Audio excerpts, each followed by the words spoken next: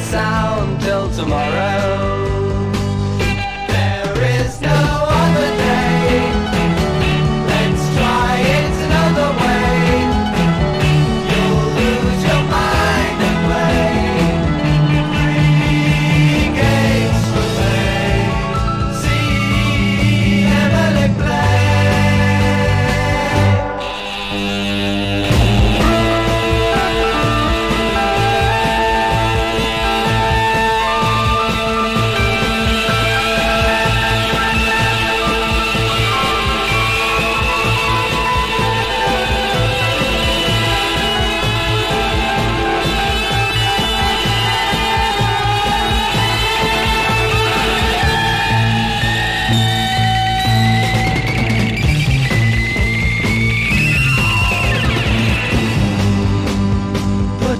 Gown that touches the ground.